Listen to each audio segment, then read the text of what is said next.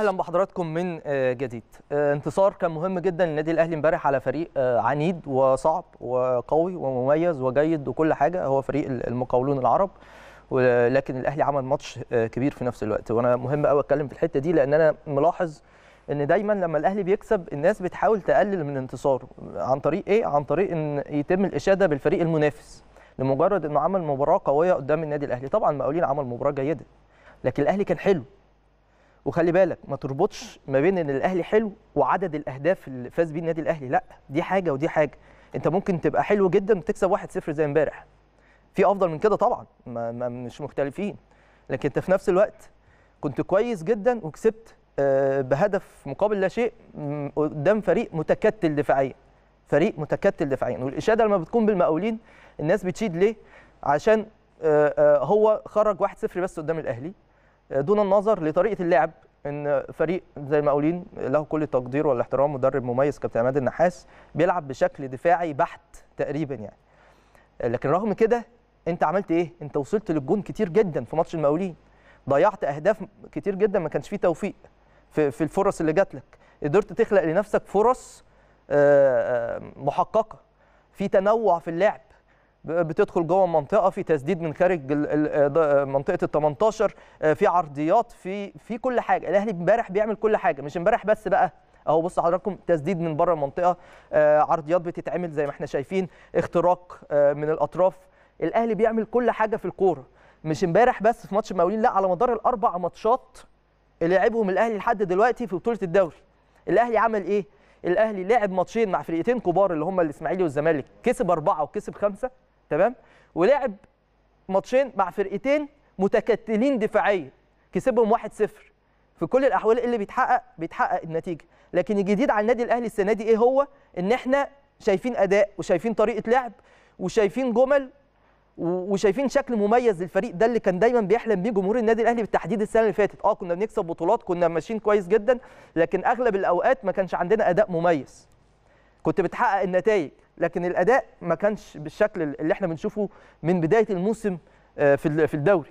فده آه، أو دي حاجة تحسب بشكل كبير جدا آه، للراجل اللي إحنا شايفينه قدامنا مستر بيتسو موسيماني وجهازه المعاون طبعا وأيضا للاعبي النادي الأهلي اللي عندهم إصرار وعزيمة وروح كبيرة جدا تعودنا عليها من خلال النادي ال- الأهلي دائما وابدا. ففي أكتر من كورة مهمة جدا كمان عايز أتكلم عليهم لكن اللي عايز اكد عليه منهم الكورة دي طبعا.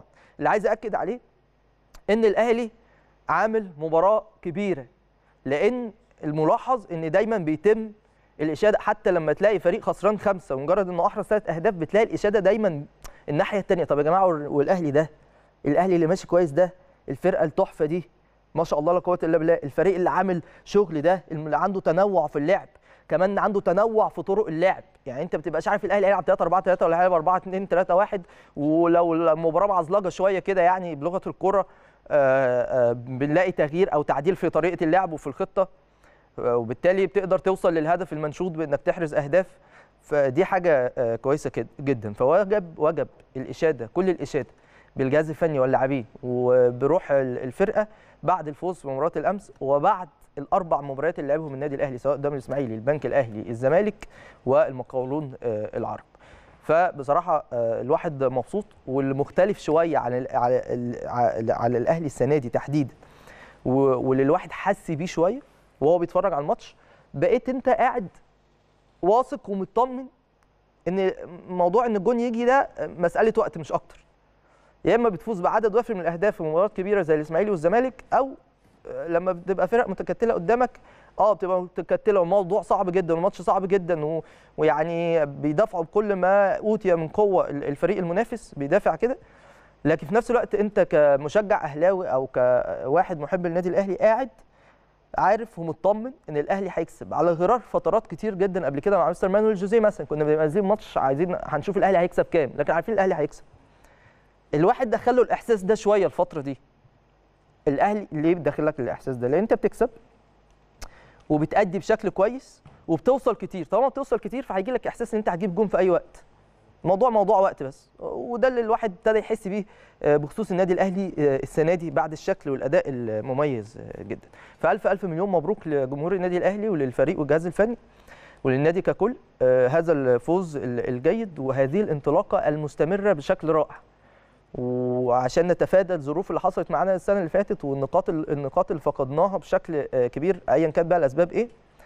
آه، فمهم قوي إن يكون في تركيز واضح إن في تركيز عند اللعيبة كلها واضح جدا إن الكل آه، عنده هدف مهم جدا وهو تحسين صورة أداء الأهلي مش النتائج. النتائج كويسه آه خسرت الدوري خسرت السوبر ده وارد في كرة القدم. لكن تحسين شكل الأداء وواضح إن ده هدف مهم جدا عند الجهاز الفني بينفذه اللعيبة بشكل مميز قوي عايز أشيد امبارح آه،